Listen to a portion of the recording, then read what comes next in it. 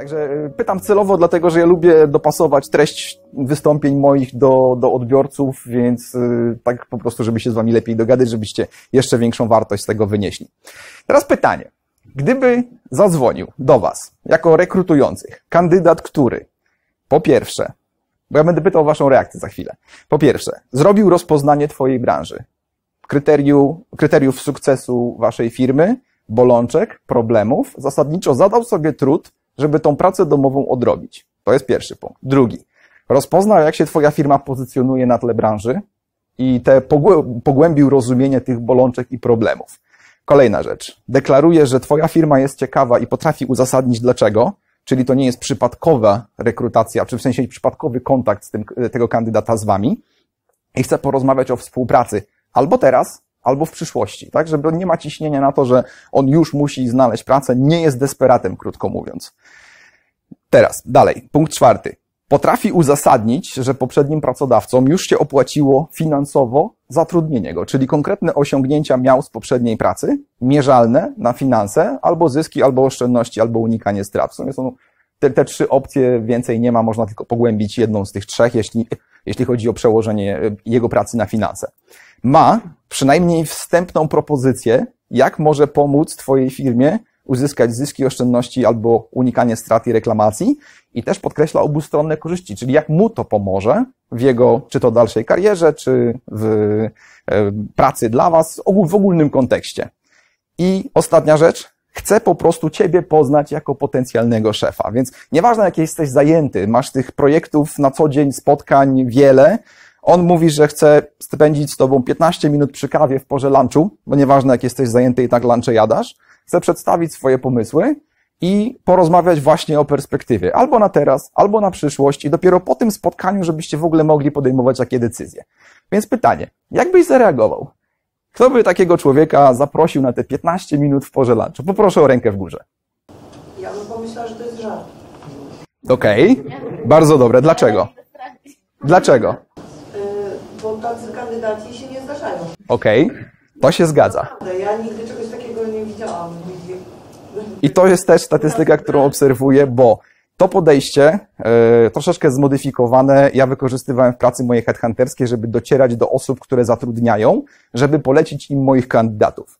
Tego samego podejścia uczę kandydatów swoich w ramach Akademii, Akademii Rekrutacji i błyskawicznie zdobywają pracę. Dlaczego? Dlatego, że chętnie są zapraszani na te właśnie wstępne spotkania, żeby bez ciśnienia porozmawiać o perspektywie współpracy, teraz na przyszłość, zostawić sobie furtkę, ewentualnie dać się zweryfikować wstępnie, co potrafi, tak, żeby, e, bo wiadomo, nie wszyscy jakby macie na ten moment dostępne wakaty, żeby człowieka przyjąć od razu, ale w każdym zespole waszym występuje rotacja. Najdalej za kwartał, za pół roku kogoś zabraknie w zespole. W środku gorącego okresu zwłaszcza to bardzo boli, prawda? I teraz Taki człowiek, jeżeli się do Was by odezwał, albo więcej ludzi tego kształtu, czy to byłaby dla Was przysługa? Bo w momencie, w którym jest kryzysowy moment, można obdzwonić tych, którzy deklarowali, że chcą pracować, wiedzą dlaczego, wiedzą po co, tak? E, część z nich już będzie miała nową pracę, jasna sprawa, e, ale część jeszcze będzie chętna, żeby porozmawiać dalej o współpracy. Można spotkać takich pięciu, dziesięciu, zatrudnić jednego bądź dwóch, Wiadomo, tak bez statystyka typowa.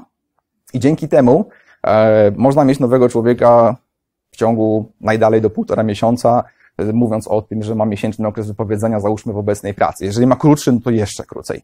Natomiast jest to niesamowite usprawnienie. I mówię o tym celowo, bo e, od paru lat e, uczę właśnie kandydatów tego podejścia i widzę, że nawet kandydaci z grona 50+, plus, którzy widzicie, jak narzekają na to, że czują się starzy, bezużyteczni, że nikt ich nie chce i tak dalej, i tak dalej, uczę ich tego podejścia, jeszcze dokładam jedno kryterium, żeby mają zakaz odzywania się do firm, w których średnia wieku pracowników jest niższa o więcej niż 10 lat względem ich wieku.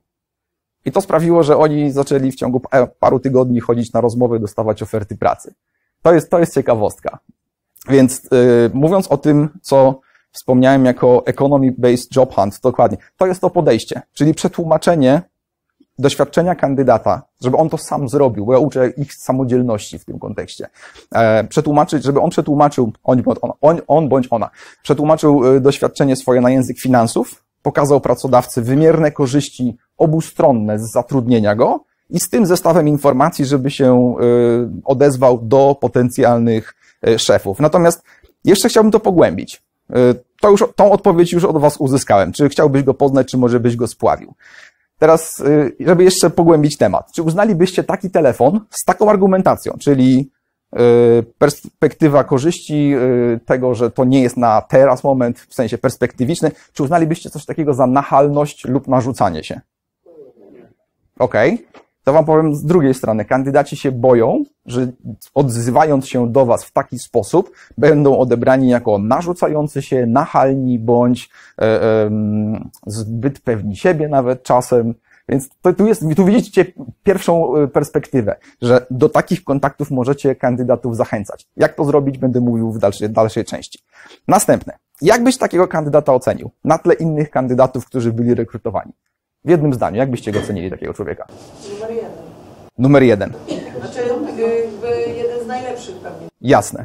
Mimo, że jeszcze go nie poznaliście, on dopiero telefon wykonał. Na pewno, że ma inicjatywę. Ma inicjatywę. Zależy mu, jeszcze raz, Pożądany pożądany pracownik, dlaczego pożądany? E, no bo identyf- chce się identyfikować. Jasne. Okej, dobrze. Wszystkim tacy ludzie też wiedzą, e, sprawdzili trochę firmę, poświęcili czas, więc jest to świadomy kandydat, który Właśnie, właśnie. Zadaję pytanie na rekrutacjach, e, czy zaglądał Pan na naszą stronę, czy To jest jedno z podstawowych pytań. O naszym obiekcie, udajmy, że ja nic nie wiem, proszę mnie poinformować, co Pan wie. No to rzadko ktoś zadał tyle trudu, żeby chociażby wiedzieć więcej niż nazwę obiektu, do którego się udaje. Jasne, jasne. To jest rzecz te, też, którą uczę kandydatów, żeby właśnie tę pracę domową odrobić, przed, zwłaszcza przed rozmową kwalifikacyjną z, z pracodawcą. I ostatnie pytanie. Załóżmy, że macie pełen komplet w zespole. Przychodzi ktoś, odzywa się do Was ktoś w tym kształcie, tak jak opisałem. Czy rozważalibyście, i gdyby się okazało, że jest tak dobry, jak mówi, po późniejszej weryfikacji, prawda? Bo wiadomo, nie od razu. E, Czy rozważałbyś stworzenie dla niego nowego stanowiska? Dlaczego? Ktoś tak e, otwarty, odważny, pewnie, e, znaczy zapewne pewny siebie, no myślę, że warto rozważyć e, stworzenie nowego stanowiska dla, dla takiej osoby. No Szkoda, żeby go przejęła konkurencja, prawda? Poza tym taki człowiek, tak rozumie, rozumiejący swoją rolę, to są żywe pieniądze dla firm każdego z Was. Okej, dobrze. E, więc to będzie mój, takie, taka e, klamra kompozycyjna, nazwijmy to.